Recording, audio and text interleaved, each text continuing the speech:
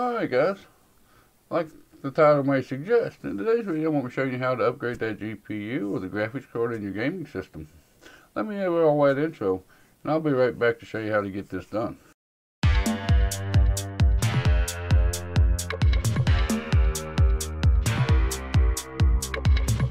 Alright guys, like the title suggests, and I said in the intro, I'm going to be showing you how to upgrade that GPU in today's video, or your graphics card for your gaming system here in 2020. It's a pretty easy process. You know, I'm going to show you the physical installation of it or how to take out the old video cord and how to put in the new video cord. I'm going to show you how to uninstall the old drivers for your current GPU and how to install the new drivers. In this video, I'm going to be replacing my XFX RX 580 8 gigabyte cord and I'm going to be going up to the EVGA GeForce RTX 2070 Super Black Gaming Edition. And yes, guys, I play games at 1080p, 60 frames per second. I wanted uh, I wanted to go with the GeForce RTX card for a couple different reasons. Number one, I want to get into streaming, so I need that extra headroom for the GPU over top of what what it's going to be using up for my gameplay. And the NVENC encoder on the GeForce cards is, you know, they're just as good as if your CPU if you're encoding with your CPU at medium settings, you know, the new NVENC encoder is just as good. But uh, let me roll that video and uh, I'll show you how to get this, uh, how to get the card installed and uh, and how to do the driver uninstall and how to reinstall the new driver for your video card. And I'll be back with my conclusion to the video. Alright guys, now to physically install you the new graphics card take your computer and you take off the front side panel of it which this is the Focus G by Fractal Design. I got two thumb screws. This may vary on your case depending on the type of case you have. If you got a tempered glass side panel or something these will come off differently. Loosen up the thumb screw slide it back just a little bit and it comes off. We'll set that to the side Okay. Lay the computer down here. Number two Phillips. Take out the two thumb screws that holds it to the side of the case.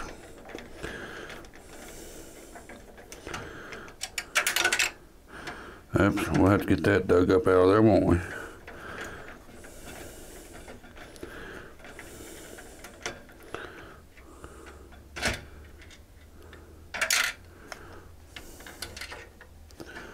And get them pulled up out. Disconnect your power cable. Lay it to the side. Right down in here, I don't know if you guys can see this, but right here towards the back, up towards the CPU, there's a little clip. You got to push down on it. Pull up on the graphics card. Just pull it up out.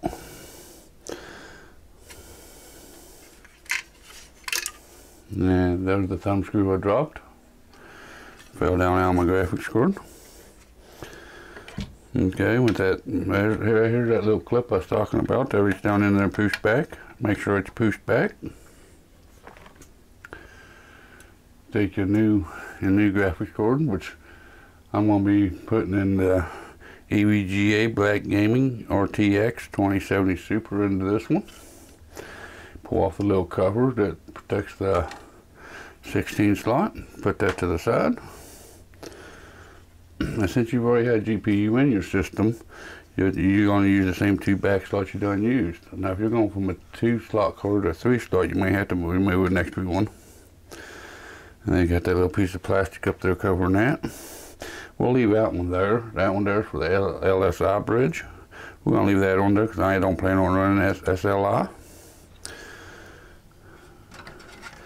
You line it up with the 16 by 16 slot. And you push it down in there until you hear a nice satisfying click. Now, make sure your cables are out of the way.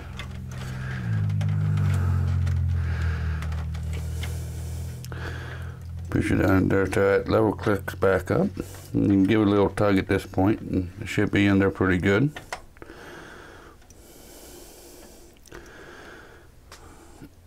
Then you take and put your two thumb screws back in. The same holes that they came out of.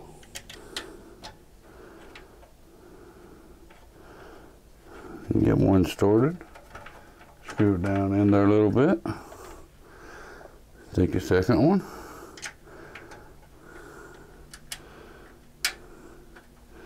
Get it started down in there a little bit. Then you take your screwdriver and you just tighten it back down.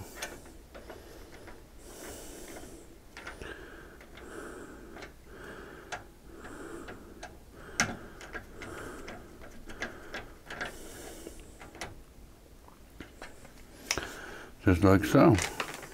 Alright, since the RX580 we took out only had an 8 pin connector, this one's got an 8 pin and 6 pin both.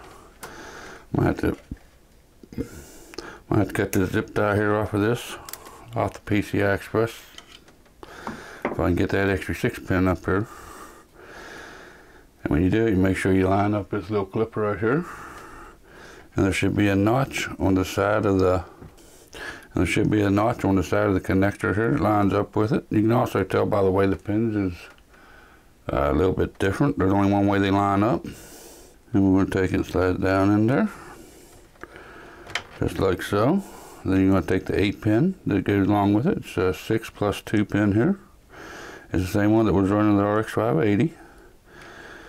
And we're going to take it and plug them into the 8 pin connector here.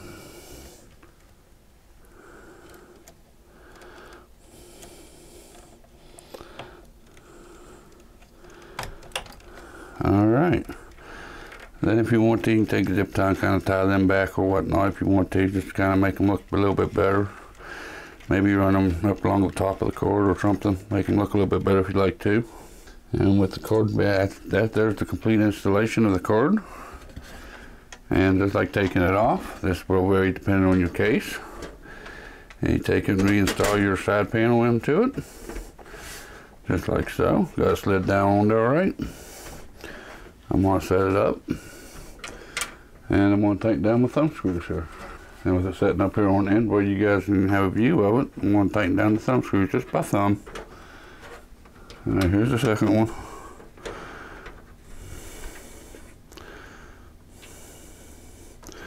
Alrighty guys, that pretty well wraps up the installate the physical installation of the graphics card. Let me get it hooked up and uh, I'll show you how to uninstall the display drivers from your old graphics card and install the graphics card drivers for the new graphics card. I'll be right back. Alright guys, now since you got the physical card installed, you have to go in and remove the display drivers from your old video card. I got a little program called DDU. I'll put a link in the description for this. Just a little 8 gigabyte flash memory drive. With this program installed, and uh, when you install, when you put this on a flash drive, it tells you they recommend to run this in safe mode. So let me put this in the computer here. Alright, there you go. It noticed that there was a drive plugged in. But like I said, we gotta get this thing into safe mode. We're gonna go down to start. We're gonna go up into settings. I'm gonna go up to update and security. Go over here to troubleshooting or I'm sorry, we'll go down to recovery. Advanced startup.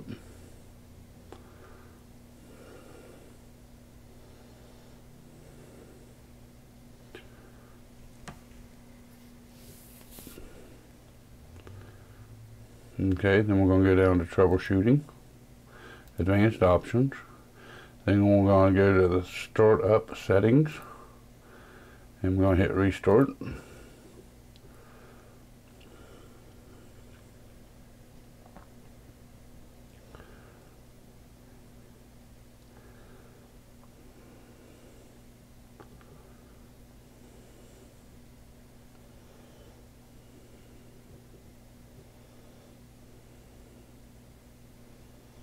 Okay, once you get into the screen, you got the startup settings and all these options in front of you. We want to do enable safe mode, which says number four. So we want to tap number four.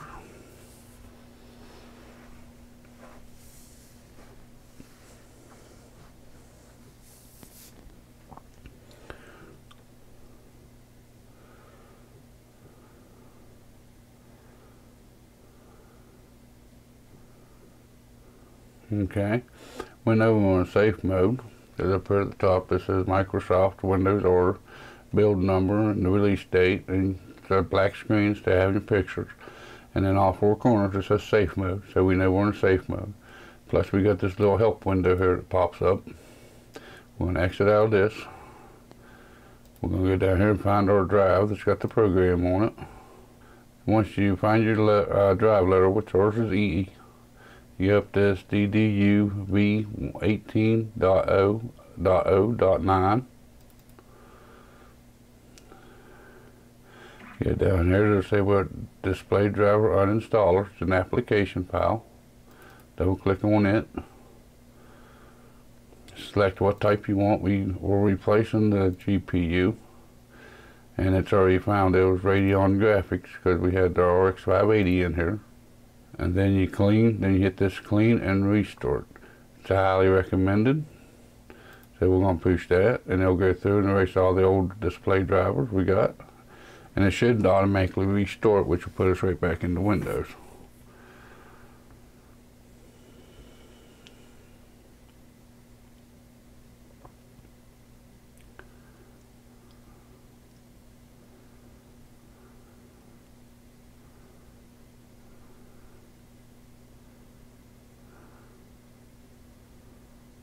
Restarting now.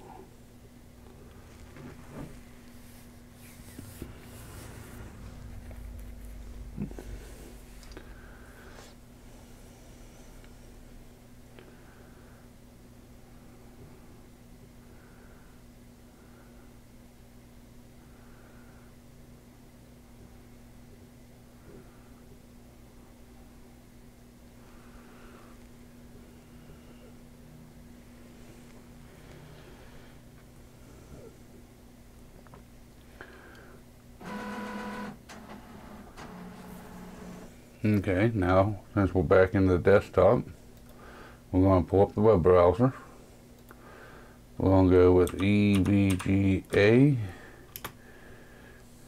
RTX 2070 Super Black right there. Alright guys, you want to click on the EVGA.com website here.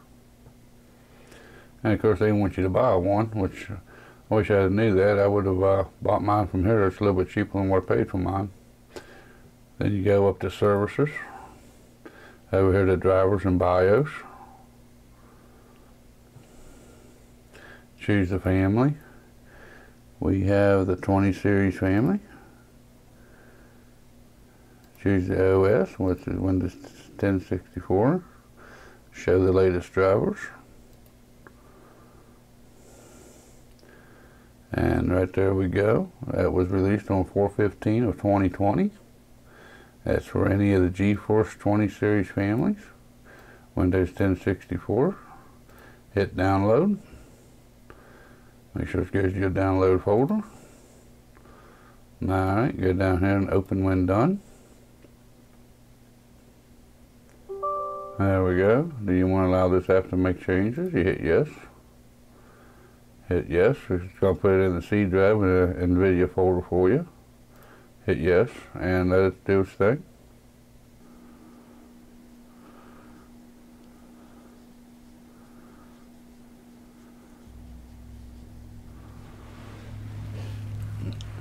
Alright, here you can either check, click uh, NVIDIA graphics drivers or and GeForce Experience or just the drivers alone. And we'll take both. We'll agree to the license and agreements and hit continue. Express is fine for me.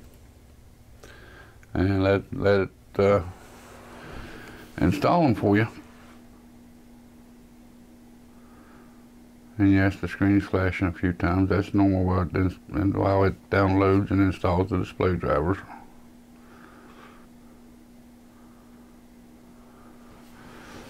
Alright guys. When you get in, get to this point, it says NVIDIA installer has finished. Create a desktop shortcut for the NVIDIA GeForce Experience.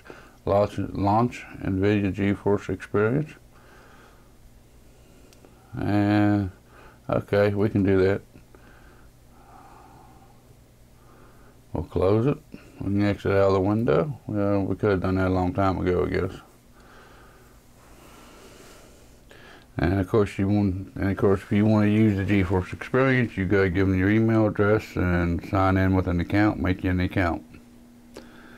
But that's pretty well it. That's the way you install the graphics card physically. That's the way you remove the old display drivers, and the way you install the new ones.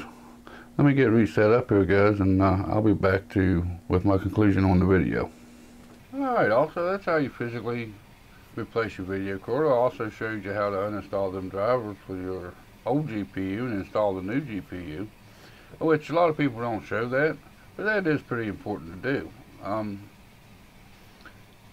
that way, whenever your graphics card starts doing what it needs to do, Windows don't try to use the old drivers or whatnot. You know, it's pretty important to get them old drivers out. Plus, it takes up room on your hard drive and whatnot. You know, so it's better to be able to take them drivers out than it is just to leave them in there.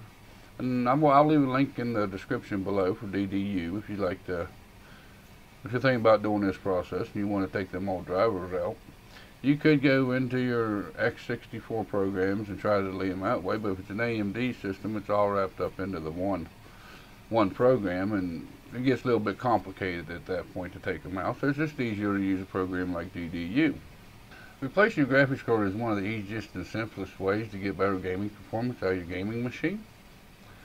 You know, I showed you in the video how to do it. It's it's simple to do. It's easy to do. You know, if you built your own computer, you know how to in, how to install one. You know, taking them out. It's just a reverse order of putting it in. But them drivers, you know, like I mentioned, you know, it's pretty important to get them drivers out, and a lot of people don't know how to get them old drivers out. Some people show you how to replace or upgrade your GPU, but they don't mention them drivers. And you have to have the software to match the hardware. You know, it, it's common throughout the computer world, you know. It's just, your software and your hardware has to match up or it just ain't going to function properly. But anyways, I think that's going to wrap it up for today's video, guys. Make sure you give me a like if you like this video. Give me down, give me a thumbs down if you didn't like this video. There's a comment section below. I'll get through them every weekend on my live show on Saturday morning, 11 o'clock Eastern Standard Time here in the U.S. While you're down there, don't forget that little, little subscribe button and notification bell. That way you're notified next time I put out a video or I get live. And with all that being said, you all have a good day, and I'll see you in the next video or live stream.